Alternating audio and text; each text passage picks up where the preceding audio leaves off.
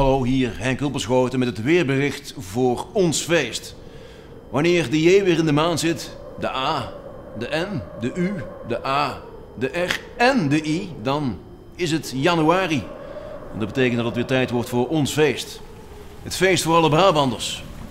Een vroege carnaval dit jaar en dat komt omdat april wat eerder valt dan normaal. De weerspreuk luidt dan ook, valt april weer eens vroeg, dan zitten we begin februari al in de kroeg.